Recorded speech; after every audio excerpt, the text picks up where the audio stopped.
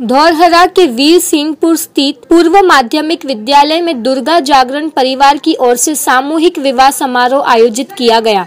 जिसमें नौ जोड़े परिणय सूत्र में बंध गए पूरे दिन कन्या और वर पक्ष की ओर से विवाह की रस्म अदायगी की गई। सामूहिक रूप से गाजे बाजे के साथ दुल्हों की बारात निकाली गई। दोपहर बाद पंडित रमाशंकर पाठक ने जोड़ों के फेरे कराए सामूहिक विवाह में कमेटी के संयोजक उमेश चंद श्रीवास्तव के आह्वान पर क्षेत्र के गणमान्य लोगों ने समारोह में कन्यादान किया जागरण कमेटी ने सभी जोड़ों को नया जीवन शुरू करने के लिए ज़रूरत का सामान बतौर उपहार देकर विदा किया।